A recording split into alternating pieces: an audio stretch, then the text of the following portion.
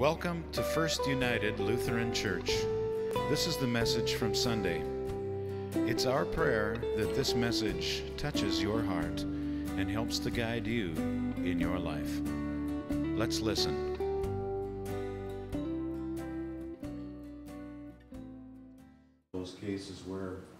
You talk about having a drug problem, I did have a drug problem with my mother. She drugged me to Sunday school, she drugged me to this, and she drugged me to that, and it's the best thing that ever happens to us. So let's uh, have a, a moment of prayer for our, our instructors and our classes this year. Lord, Heavenly Father, thank you for the blessing of uh, children. Thank you for the blessing, the tremendous blessing and uh, service that teachers and superintendents and supporters have volunteered to give this year. Pray that you bless their efforts, their time, and um, bless the teaching and especially um, the spirits of our children as they are uh, instructed in the ways of, of your word as you told us to do in so many places throughout the scriptures. Um, we commit their service to you. We commit the year to you. In the name of Jesus we pray. Amen.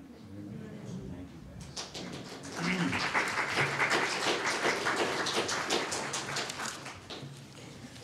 Please keep these people in your prayers throughout the year and encourage them whenever you happen to see them around. And thanks for your, your help, guys. Uh, announcements today. Uh, prayer request for Lynette DeLucia. She's battling cancer and she's a friend of Betty and Keith. Post. Uh, there's a GoFundMe page that has been set up for them. So uh, pray for Lynette in her battle with cancer. Uh, Sunday school resumed today, and you just met the teachers. Congratulations to, to the teachers. Uh, your, your work is really appreciated. Uh, youth group is going to resume. Paula was up here. They're going to resume grades four through six, uh, the second Wednesday of every, month, and seven through 12 are meeting weekly. So keep that in mind. Uh, Women's Bible Study begins Tuesday, September 21st.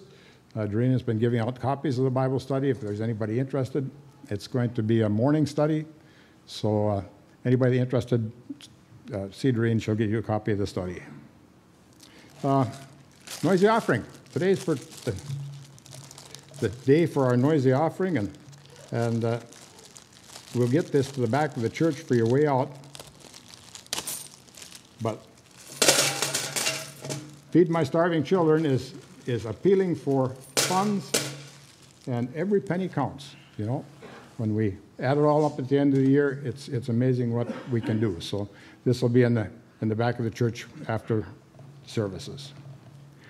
Uh, Bell Choir is going to start again. Keep that in mind. It's uh, September 14th at 5.30, so that'll be this coming week.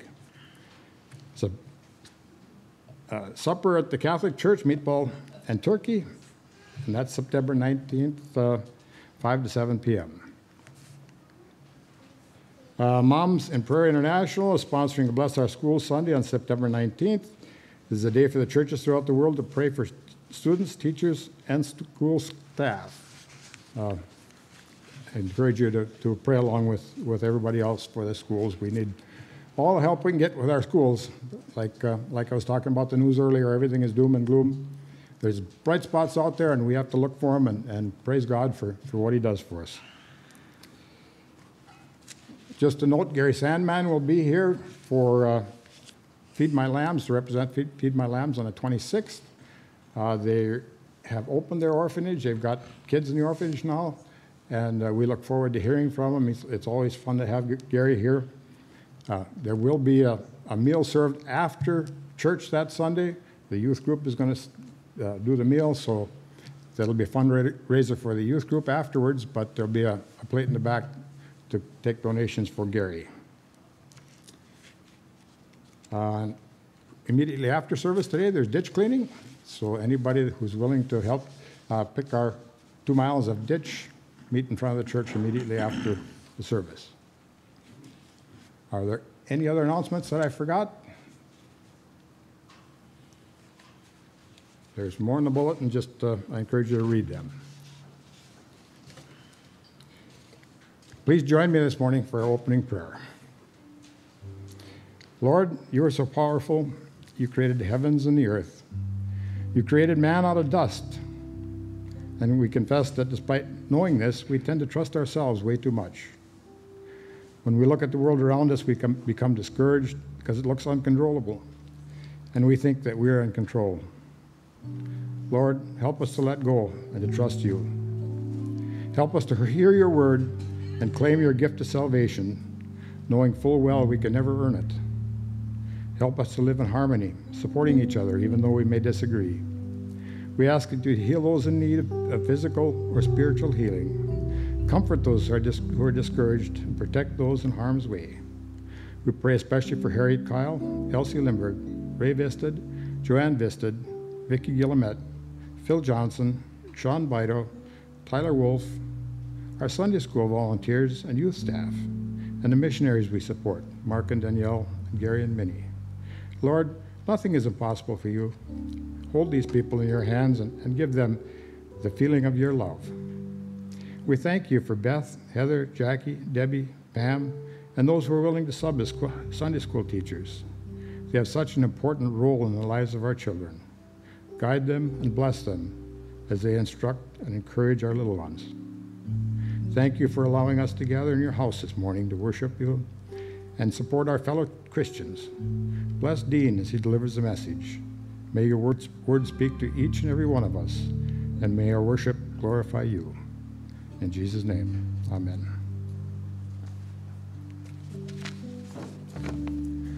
The psalm this morning is Psalm 119, verses 9 through 16. How can a young person stay on the path of purity? By living according to your word. I seek you with all my heart. Do not let me stray from your commands. I have hidden your word in my heart that I might not sin against you. Praise be to you, Lord. Teach me your decrees. With my lips, I recount all the laws that come from your mouth. I rejoice in following your statutes as one rejoices in great riches. I meditate on your precepts and consider your ways. I delight in your decrees. I would not neglect your word. At this time, we'll have special music. Uh, if you got the hymn book, I'd like to have you join us. It's song number two How Great Thou Art. We uh, had so much going on yesterday, we didn't have a real chance to pick out anything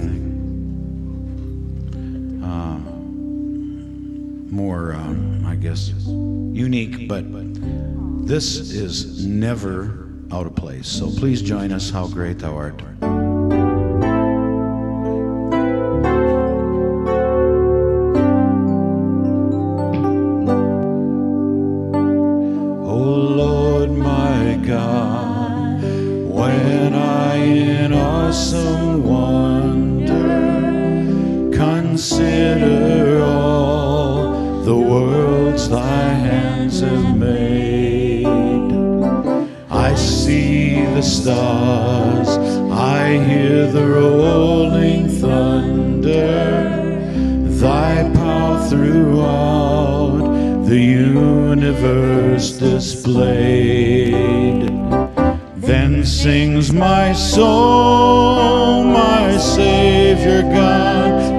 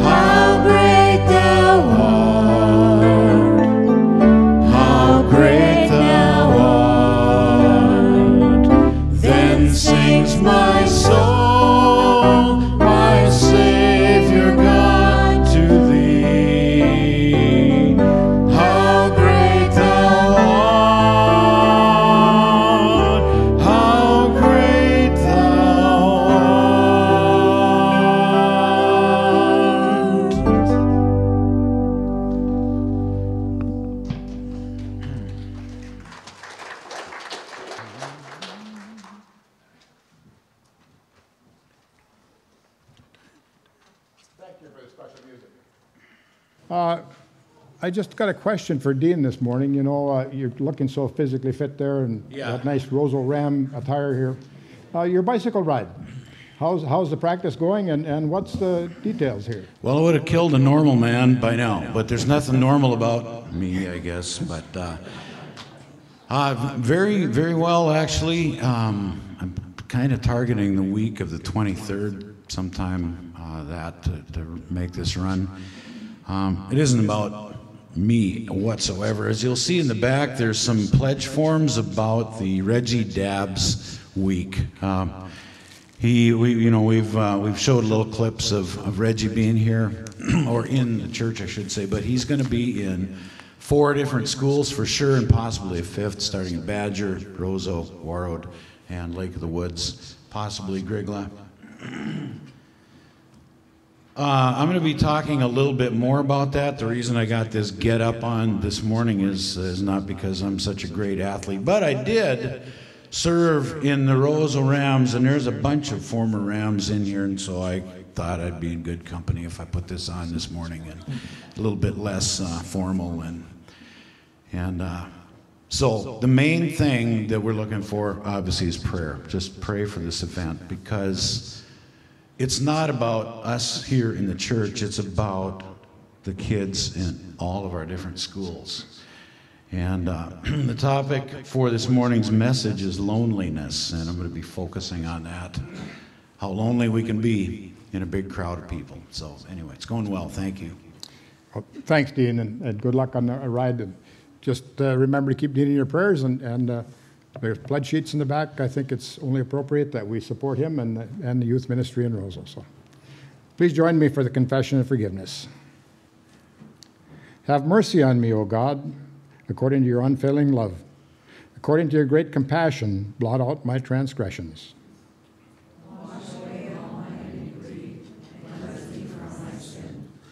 For I know my transgression, my sin is always before me. Against you only have I sinned, and done what is evil in your sight, so that you are proved right when you speak and justified when you judge. If we confess our sins, he is faithful and just, and will forgive our sins and purify us from all unrighteousness. Amen.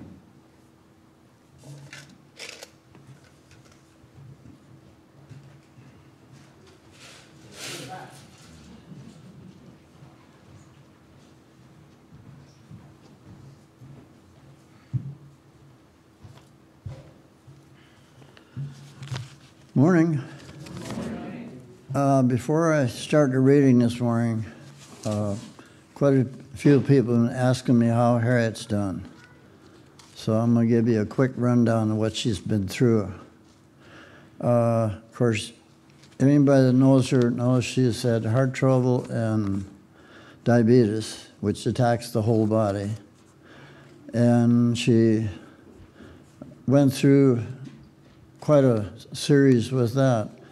Uh, she was been having all kinds of problems, so they did a CAT scan on her and sent her to Grand Forks, and they did a surgery on her carotid artery, her aorta, and they put stents, one under her belly button and one in each, going into each leg.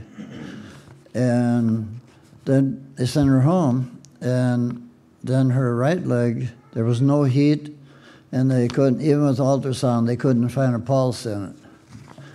And so they went in another surgery. They went in and cleaned the right leg out. And they found an aneurysm in there that was getting ready to burst. And where it was, they couldn't put a stent, so the surgeon shaved some skin off, went inside the aneurysm and grafted skin on the inside of it and rebuilt the wall, which boggles my mind. And again, sent her home. And she just kept deteriorating, going downhill. And so then back to the hospital, uh, a full CAT scan. And they said, well, there's something going on, but we don't know what. And scratching her head, they didn't know what to do, so let's send her in to do a colonoscopy. And Dr. Brummer did that, and he could only get a third of the way into the colon before he hit a mass. And so back to Grand Forks to surgery, and they found she was stage three colon cancer. And they took two feet out of her colon, put that back together, and back home. And then they spent three weeks building her system up so they could start chemo on her. And uh, they started chemo, and they've come a long way with chemo, so she didn't have to do uh, injections or uh, that. They, they do pills. And so the, the chemo that she was on was two weeks on pills, one week off, two weeks on, one week off. And they wanted to do eight, a series of eight chemos. And they uh, started that, and by the time they got to the third session, it was attacking her body so bad they had to stop the chemo. And I'll back up just a second to where they did the colon cancer uh, surgery. At the time they did that, they also found a cancer mass on the outside of the colon that went under the liver. And they took that out. And since then, now they found that she has cancer in lymph node 19. And now they're trying to build her strength up again so they can get her back on chemo. That's, that's where she is right now. So we take one day at a time.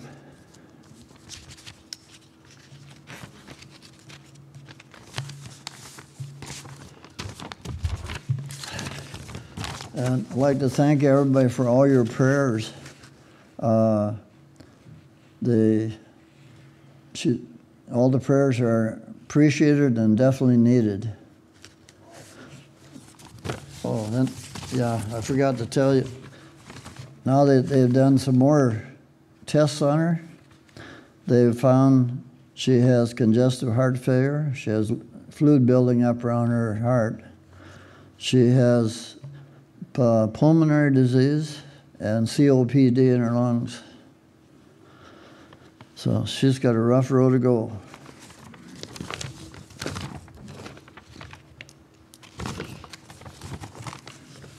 First reading this morning is from Joshua 6, 16 and 17 and 20 through 27. The sixth the seventh time around, when the priest sounded the trumpet blast, Joshua commanded the army Shout, for the Lord has given you the city. The city and all that is in it are to be devoted to the Lord. Only Rahab, the prostitute, and all who are with her in her house shall be spared, because she hid the spies we sent. When the trumpet sounded, the army shouted. And at the sound of the trumpet, when the men gave a loud shout, the wall collapsed. So everyone charged straight in, and they took the city. They devoted the city to the Lord and destroyed with the sword every living thing in it men and women, young and old, cattle, sheep, and donkeys. Joshua said to the two men who had spied out the land, Go into the prostitute's house and bring her out and all who belong to her in accordance with your oath to her. So the young men who had done the spying went in and brought out Rahab Rahab, her father and mother, her brothers and sisters, and all who belonged to her. They brought, brought her entire family and put them in a place outside the camp of Israel. Then they burned the whole city and everything in it. But they put the silver and gold and articles of bronze and iron into the treasury of the Lord's house. But Joshua spared Rahab the prostitute with her family and all belonged to her, because she hid the men. She hid the men Joshua had sent as spies to Jericho, and she lives among the Israelites to this day. At that time, Joshua pronounced the solemn oath. Cursed before the Lord is the one who undertakes to rebuild this city of Jericho. At the cost of his firstborn son, he, will lay its foundations. At the cost of his youngest, he will set up its gates. So the Lord was with Joshua, and his fame spread throughout the land. Second reading is from Hebrews 11 23 to 31. By faith, Moses' parents hid him for three months after he was born, because they saw he was no ordinary child. They were not afraid of the king's edict. By faith, Moses, when he had grown up, refused to be known as the son of Pharaoh's daughter. He chose to be mistreated along with the people of God rather than to enjoy the fleeting pleasures of sin. He regarded disgrace for the sake of, the, of Christ as of greater value than the treasures of Egypt, because he was looking ahead to his reward. By faith, he left Egypt, not fearing the king's anger. He persevered because he saw him who is invisible.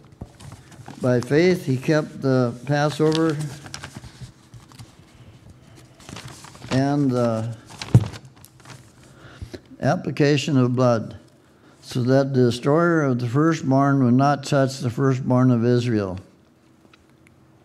By faith, the people passed through the Red Sea as on dry land. But when the Egyptians tried to do so, they were drowned.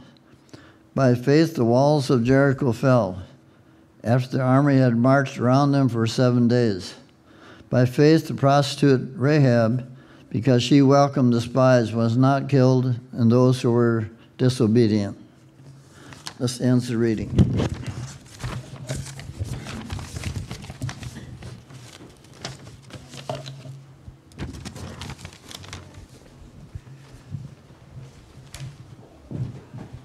Thank you very much, Larry. Thanks for the update. it helps us to pray uh, a little more specifically. Uh, so let us stand together and we'll confess our faith in the words of the Apostles' Creed um, to one another and to our Lord. I believe in God, the Father Almighty, creator of heaven and earth. I believe in Jesus Christ, his only Son, our Lord. He was conceived by the Holy, Holy Spirit and born of the Virgin Mary. He suffered under Pontius Pilate was crucified, died, and was buried. He descended into hell. On the third day, he rose again. He ascended into heaven and is seated at the right hand of the Father. He will come again to judge the living and the dead. I believe in the Holy Spirit, the holy Christian church, the communion of saints, the forgiveness of sins, the resurrection of the body, and the life everlasting. Amen. That was a test to see if we really had it memorized. Actually, I was turning this thing on, so it's not your fault in the booth, it was me. and good job catching up because I had, you know, butter on my thumb or something. So uh, we will continue with uh, a wonderful addition to our morning service. Uh, I'd like to call on Connie for a children's message. And uh, you may be seated. Well, some of you can be seated. I want kids. Obviously, I want the little kids. But you know what? Those of you who are bigger than me, because, you know, most of you are taller than me, um, you can come too, because I will tell the story to big kids too. I'm going to have you guys. Hey, we have a cleaned carpet. Did you guys know that we had the carpets cleaned about a week and a half ago? They are clean. You can sit on the carpets and not pick up any gunk. I'll be right back. Oh, come on. We need big kids. Oh, I need you guys that way facing me. Sorry. I wasn't clear enough, was I? Devin, I need you to turn around and sit on the floor. You too. Perfect. I have a bigger kid. No big, big, big kids. You know, I could pick on Frank because I picked on him several years ago saying he was a big. I don't know. Where's Brody? Come on, Brody. You're a kid.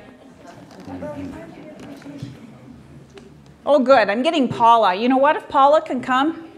Okay, big kids. Okay, today we're going to tell a story. And I have a friend with me. Can you all see my friend? Mm-hmm. Okay, you can see my friend, can't you? This kitty's name is Boris. B O R I S, Boris, if you don't understand me. Boris is a little black kitty and he is just starting his journey with God. And we will see how he can face challenges. Sometimes we expect answers right now when we talk to God, don't we? We expect it to be instant. But we must remember God is in complete control, and His answer in His timing might not be what we would like. Okay? So in this story, Boris learns he must wait patiently. And I have a Bible verse Hebrews 1, or I'm sorry, Hebrews 11, verse 1. Now, faith, we know what faith is. Faith is being sure of what we hope for and certain of what we do not see. Okay? So, this story is called The Adoption Miracle, and I didn't write the story. It's written by a man named Harrison Woodard. We have to give him credit. So, once upon a time, there was a kitty named Boris. Would you all like to pet Boris? He's soft. We're going to start with Paula. Boris lived in an animal shelter. And like all animals, Boris wanted a home. Some of the other cats would tease him. They told him he would never, ever get adopted. Don't you know, Boris? said one calico cat. Black cats are bad luck. I personally will disagree because I've owned black cats and I love them. A big tabby added, Black cats are scary. Nobody wants you. Don't listen to them, said Taffy. She was a white Persian, and she was in the cage next to Boris. She said, There is a home waiting for you. Boris ignored her.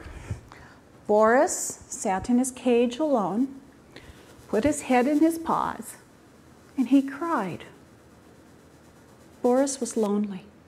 Boris was sad, and he didn't know what to do.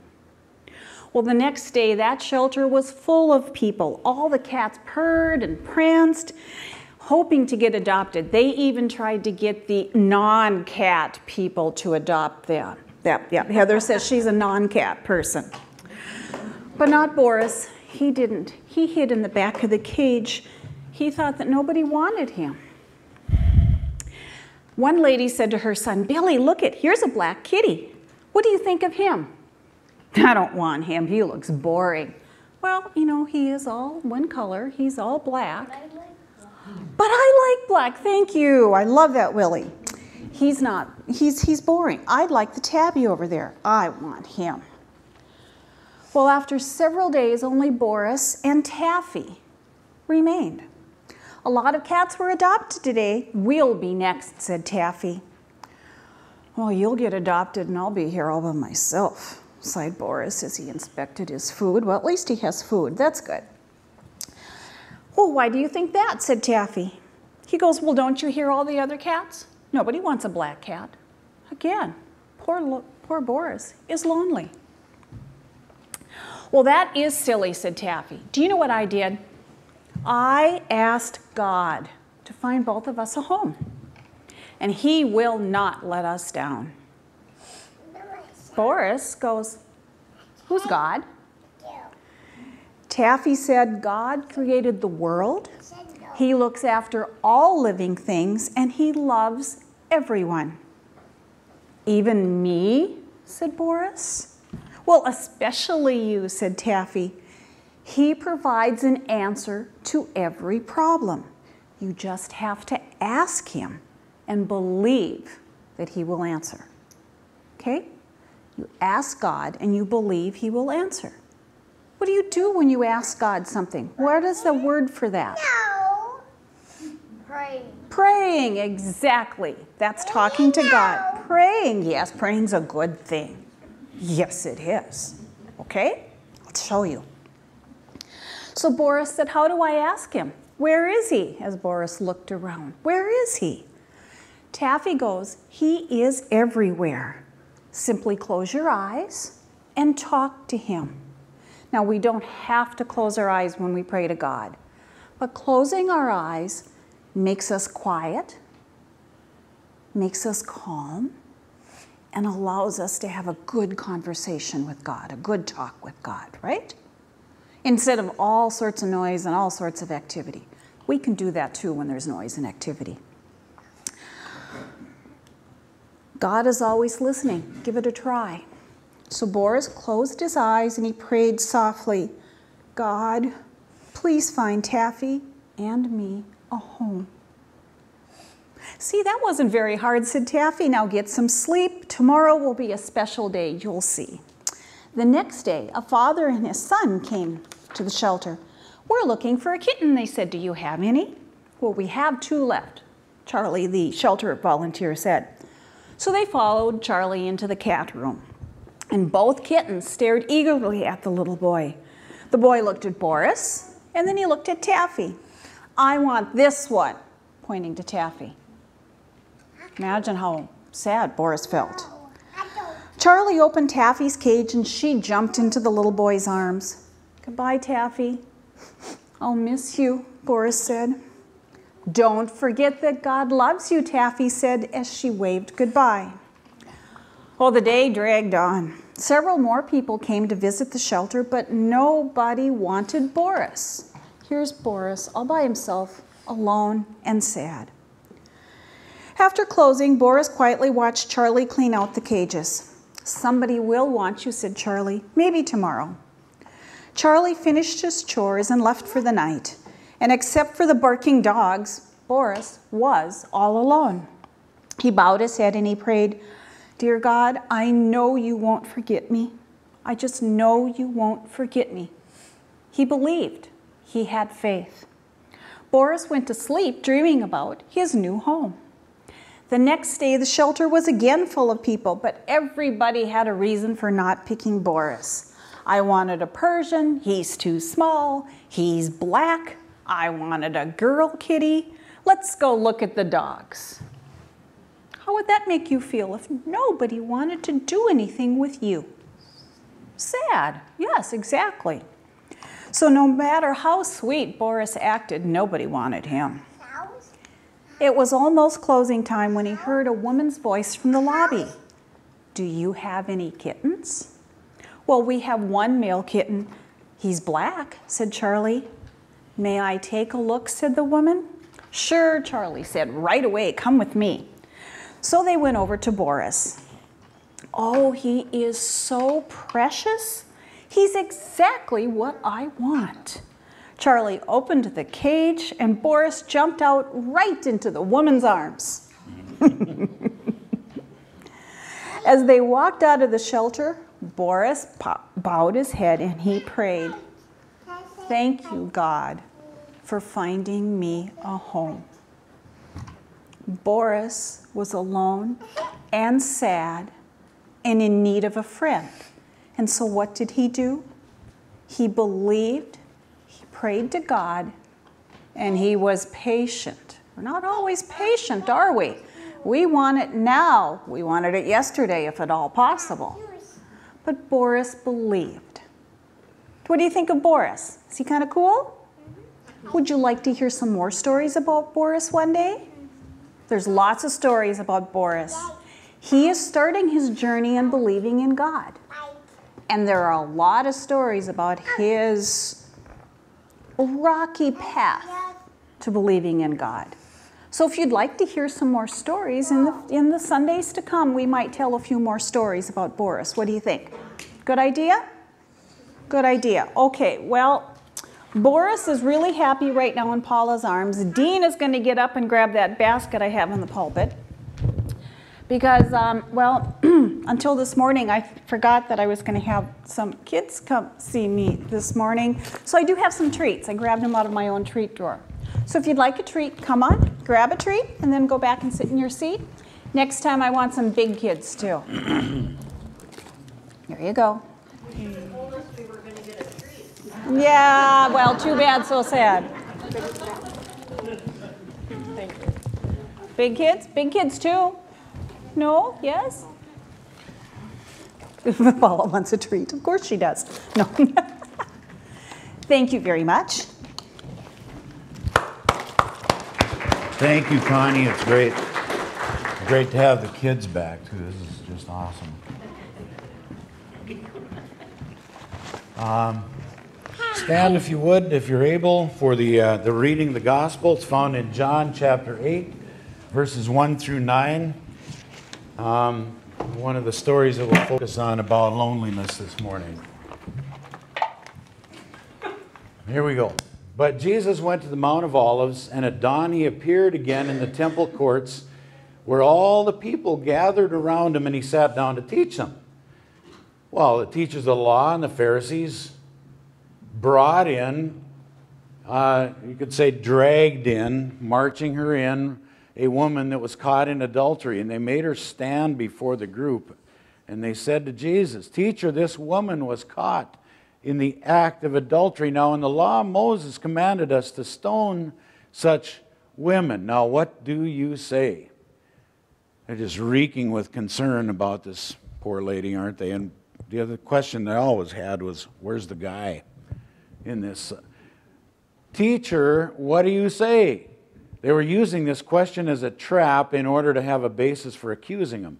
But Jesus bent down and he started to write on the ground with his finger. When they kept on questioning him, he straightened up and he said to them, Let any of you who is without sin be the very first to throw a stone at her. And again he stooped down and wrote on the ground. And at this, those that heard began to go away one at a time, the older ones first, until only Jesus was left with the woman still standing there. And I guess I left the verse off, but Jesus said to her, Where are your accusers? And she looked around, and they were nowhere to be found. And Jesus said, Your sins are forgiven. Go and sin no more. Thus ends the reading of the gospel uh, for the morning. Uh, you may be seated. Thank you.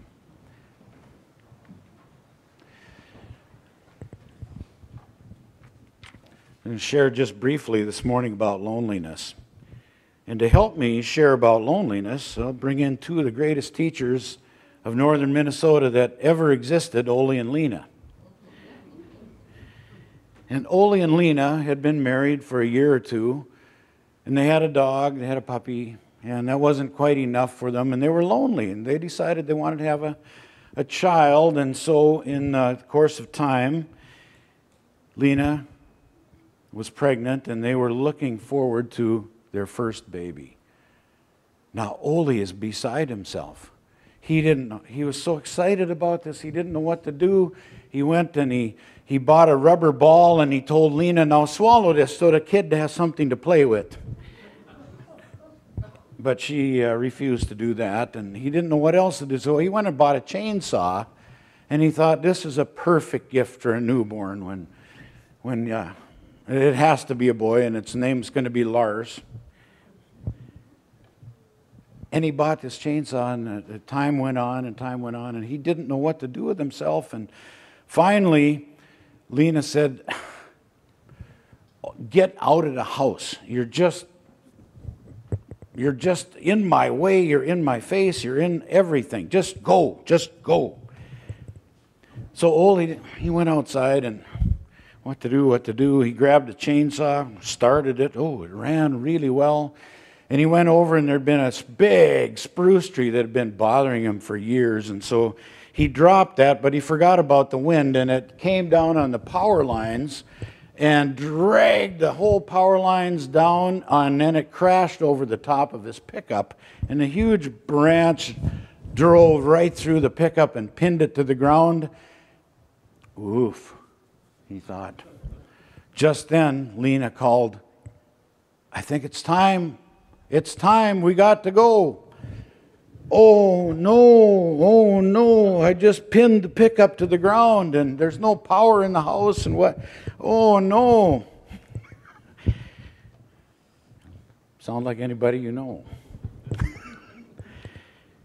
what are we going to do? Well, Doc Jones is just down the road. We better call him. So Ole called and Ole uh, said, Doc, you got to come. The power is out in the house and the pickup is pinned to the ground and we need some help. And Doc Jones was an old time doctor and he came over with his bag and and by now it's night and all they have in the, in the house is a lantern and he said, Ole, you got to hold the light here. You got to hold the light so that we can, uh, we can proceed here. And Ole was holding the light and soon Doc Jones delivered a beautiful baby boy. And Ole was going to put the light again and away, and Doc Jones said, Wait a minute, wait, wait, wait, come back with the light. There's another. And he delivered a beautiful baby girl. And Ole took off with the light and he's running out. Ole, come back with the light, come back with the light. And Ole said, Not on your life. The light is attracting them.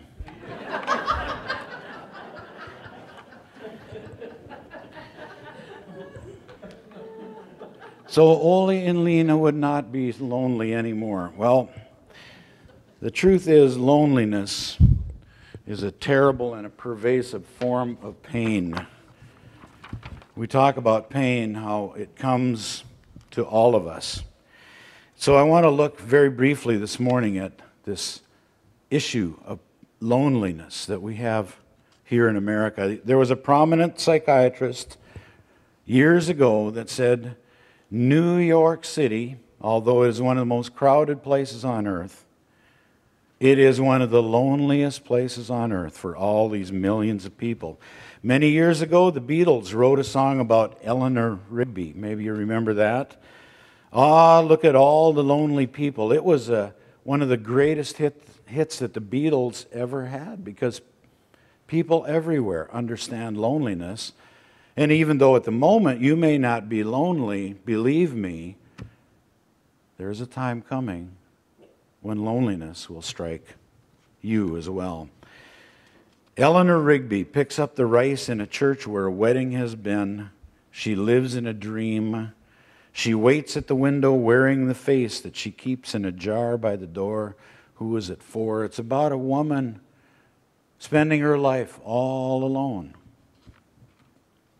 Though even over in England, there were lonely people. But you notice the Beatles had no answers for uh, any of this loneliness. And so this morning we're going to take a look at somebody that does actually have a solution for loneliness. There are some people that say that Facebook and your cell phone, the smartphone, that is the answer to loneliness. What do you think about that? Facebook it says, has 2.8 billion users on planet Earth. Each day, Facebook is used for about 1.8 billion shares. The average Facebook user has got 350 friends. I use friends because it's a pretty loose term. If you're a teenager, you've got about 650 friends. So, why do I put friends in quotes? Well, I used this on Wednesday, just an example. A friend of mine, he had a son, and his, friend was, his son was bragging about uh, the number of friends he had on Facebook. Dad, Dad, I got 500 friends. How many do you have? And his dad said, Oh, about three. what do you mean, three? I said, he said, I have three real friends. You have 500 friends on Facebook, but I notice you're 800 bucks behind in your rent. How many of those 500 friends are coming, beating a path to the door to give you a bunch of rent money? Well, none. And Dad, uh, can I borrow 800 bucks? friends, friends, Facebook is not coming with money to solve your problems. All of those hundreds of friends that you've got, all those thousands of clicks on the like button, click, click, click, click. Oh, they like it, they like it. what about the hundreds? No, I'd say thousands of hours that are spent on that. The average Gen Z, and this is a person born after 1998, they spend six and a half hours on their device every single day. With what result? Well, Jean Twenge is a professor of psychology, San Diego State University. She labeled the, uh, the millennials born from 1980 to 1998 and the Gen Zs, they call them the Gen Zs born after that. They are the distracted generation because they have these devices with them. that can keep them continually distracted she conducted a survey of public school teachers, of American school teachers, and they said 90% of them said this the overuse of these devices is creating a short attention span. The students can't get their homework done. It's decimated their critical thinking skills, and it has created tremendous loneliness. Yep, even though you spend six and a half hours a day on the device, socially speaking, 44% of high school seniors have never been on a date. The suicide rate is up. Ever see somebody sitting by themselves, all alone in a crowd of hundreds of people at the airport? Or even more interesting is you go to a restaurant and you see, let's say, four people sitting at a booth. Every single one, sometimes they're texting the person on the other side of the table, you know, because forgetting how to talk. Facebook, your cell phone is no answer for loneliness. Today, I'm going to take a look at two genuinely lonely people. The first one is the one that we just read about this woman that was caught in the act. Now, Satan uses loneliness and isolation as is very frequently. It's the number one form of attack. It was the very first attack that Satan used in the Garden of Eden was to isolate Eve, get her alone, because when we are alone, we're more susceptible to suggestion, to persuasion.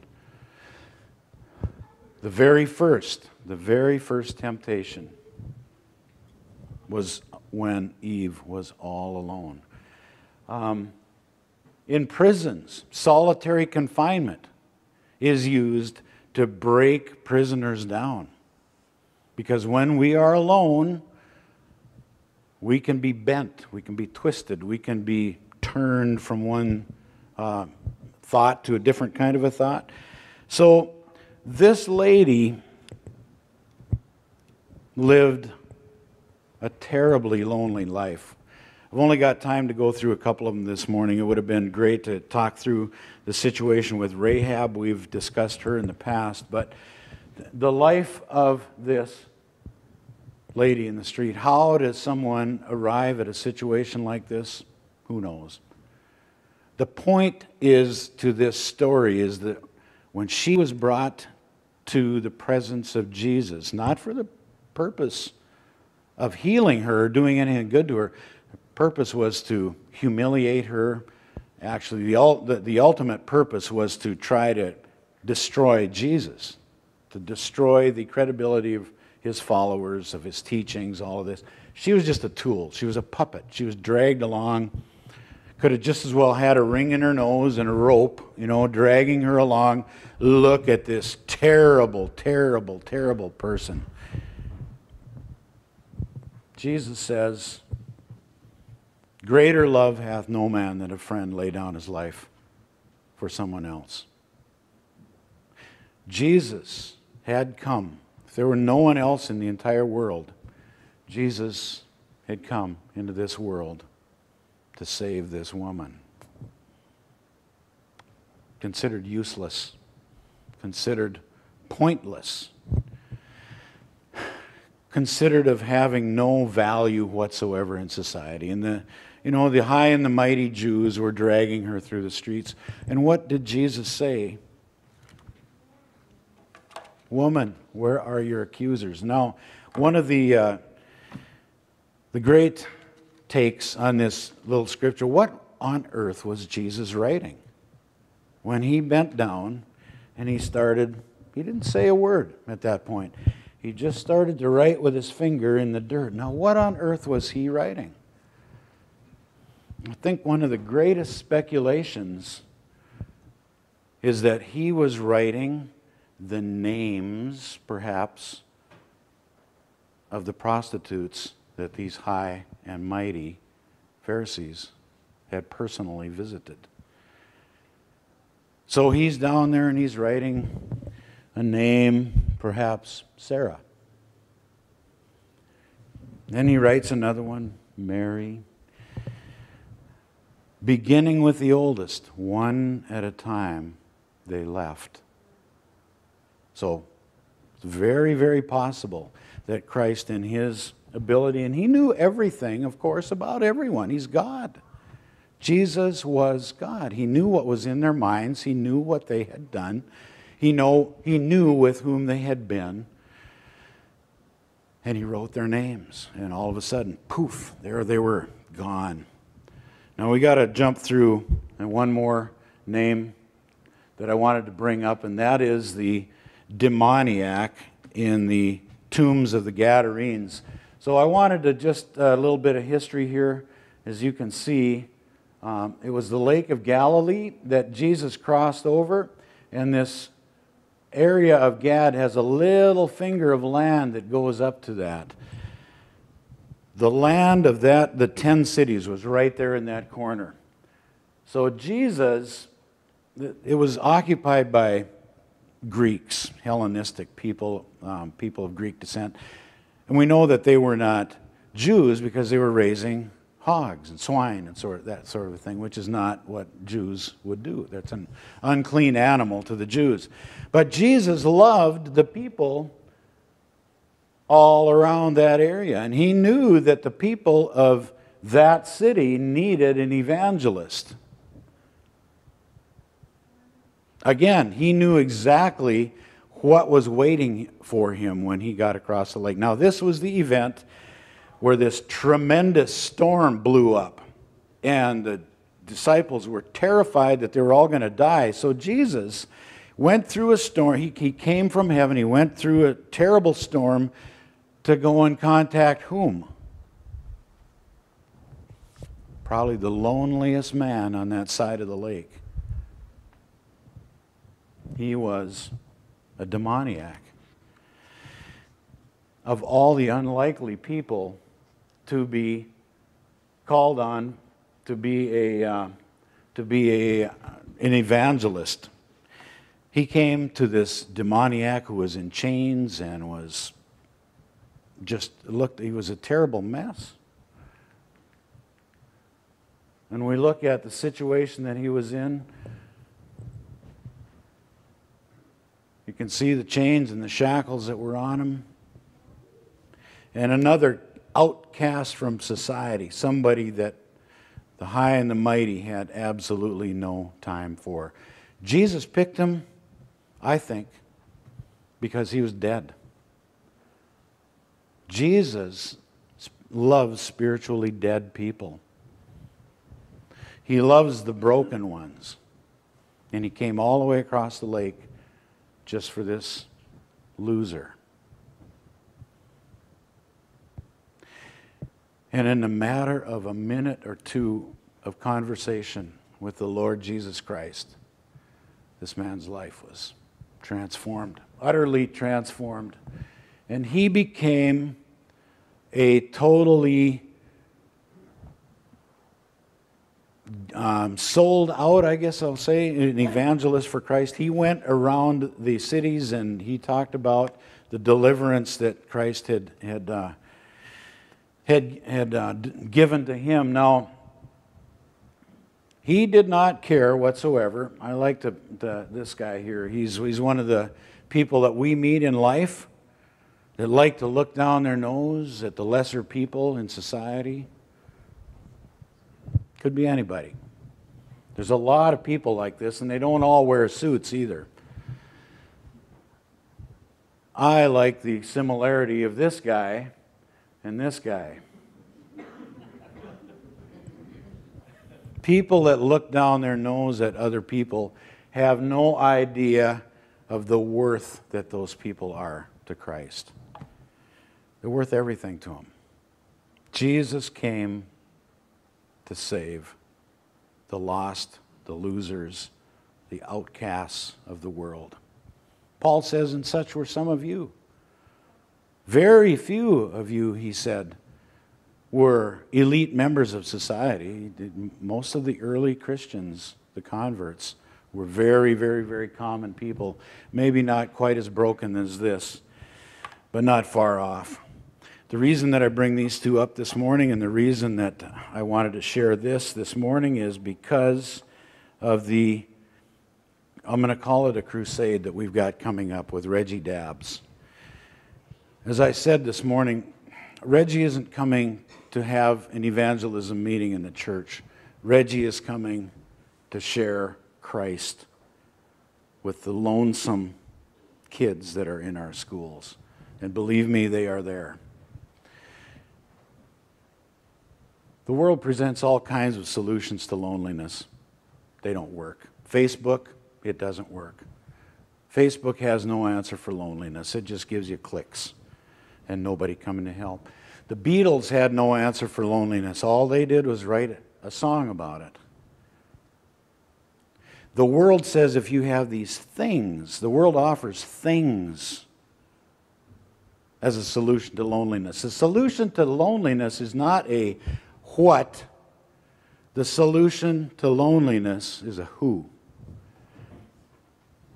Believe me, sports are no answer to loneliness. You can be on a team and ready to commit suicide. I know that very, very, very, very well. You can be in a crowd of people and there's like this invisible wall that is around you that nobody knows how to break through, but there is one who knows how to break through the wall of loneliness and despair. There are people like this. They don't look like this, but they are in our schools. Reggie is coming to share the Word of God with them. And it doesn't just have to be it's not like Reggie is a magic individual. It's, it's not that at all. Reggie has just got an exceptionally unusual story. And God has called him into the ministry to share it with people who are youth, younger people. That's, that's his primary ministry. And uh, we have the blessing, of course, of having him with us for a few days. Um, I'd like you to help me pray for this community, for our neighboring communities. I think of this as an opportunity very similar to a Billy Graham crusade at that level of professionalism. Uh, Reggie is like few other communicators that I've ever seen or heard on earth. It's going to be just great to have him here. Um, I'm going to close with that. My whole purpose for sharing this morning was to build towards the knowledge and the understanding This is a very, very broken and a very, very lonely world. The devices, they don't help. Nothing helps. Only the Lord Jesus Christ, who says, There's a friend like no other. Um, in in uh, Proverbs, it says, There is a friend who sticketh closer than a brother. David was all alone when he wrote the 23rd Psalm. If you read through it, it's I, me, I, me. The Lord is my shepherd. I shall not want. He makes me to lie down in green pastures. Though I am in the valley of the shadow of death, I will fear no evil. Why? Because the friend above all others, the rock of our salvation, the Lord Jesus, was with them even at that time. Let's close with prayer. Heavenly Father, I thank you for the power of change that comes with a new birth into the kingdom of God. Thank you that when we join the citizenship of the kingdom of God, our citizenship with this world is ended. We die. To become a member of your kingdom, we can only be born there. We can't transfer any citizenship. We must die here and be born again into it. I pray, Lord, for those who are here this morning who are in a state of loneliness. I pray that we, as your messengers and, and uh, agents of grace, Lord, that we would see that and become the friend that is not like no other. Help us to sense loneliness, to perceive it, and to be deeper friends as you direct us and give us wisdom to be a better friend. Thank you for salvation. Thank you for all of the, the, wonderful family that's here this morning. We pray your presence with us in the week to come and uh, in the year to come. Bless our Sunday school in numbers and in, uh, and in depth. In Jesus' name we pray. Amen. Like to close with the Lord's Prayer, and then we will sing a closing hymn. Let's stand together and pray the prayer that our Lord taught us to pray. Our Father who art in heaven, hallowed be thy name.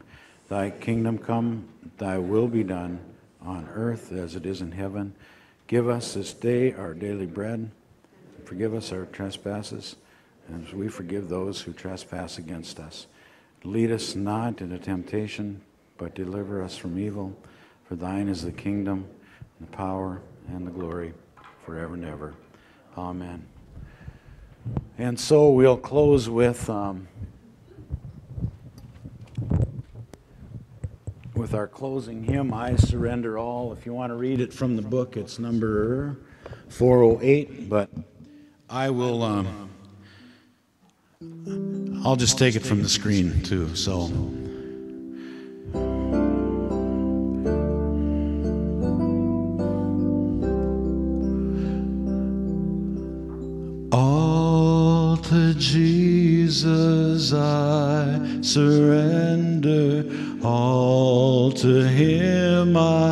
Freely give. I will ever love and trust Him in His presence daily